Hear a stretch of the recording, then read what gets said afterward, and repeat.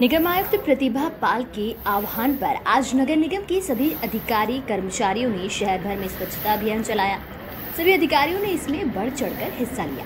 अधिकारियों ने न सिर्फ़ शहर की सड़कों पर झाड़ू लगाई, बल्कि कचरा भी उठाया। इस अभियान के माध्यम से अधिकारियों ने शहर के वासियों को संदेश दिया कि अपने शहर को स्वच्छ रखना सिर्फ़ सफ़ाई मित्रों की जवाबदारी नहीं है बल्कि हम सबका कर्तव्य है।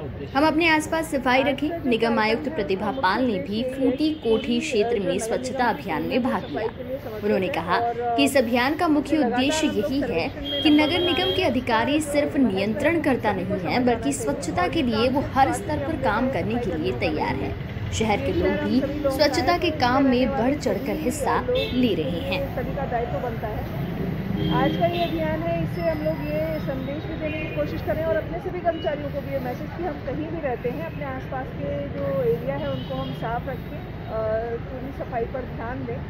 और अगर नगर निगम के लोग खुद आके ये सफ़ाई अभियान में अपना योगदान देंगे तो अन्य जनता भी इससे हमारे इस जन भागीदारी में जुड़ेगी और स्वच्छता अभियान, जन भागीदारी का ही अभियान है।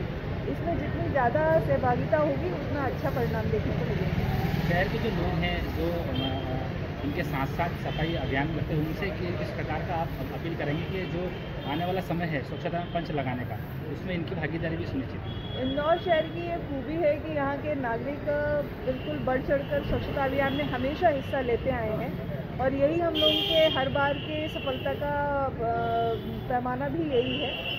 इस बार भी जितने भी तरीके से हम लोग अपील करते हैं, लगातार नागरिकों की उपस्थिति, भागीदारी उसमें बनी हुई है और आगे भी जब सर्वेक्षण आएगा और सदैव ही शहर की स्वच्छता में नागरिक अपनी ज़िम्मेदारी को निभाएँगे, अपने घर से सूखा और गीला कचरा अलग करेंगे, बाहर कचरा कहीं खुले में नहीं डालेंगे, बाहर अगर हैं यूरिनल और लिटर बिन्स का प्रयोग करेंगे, ऐसी मेरी अपेक्षा है। आप सभी को इस भी कि इस बार जो पंच लगाने की हमारी तैयारी है, उसमें जो plastic waste non plastic waste अपने को अलग करना है, वो प्लास्टिक वेस्ट गाड़ियों में दे तो इस तरीके के छोटे छोटे प्रयासों से अपना शहर फिर से वापस से नंबर वन बना रहेगा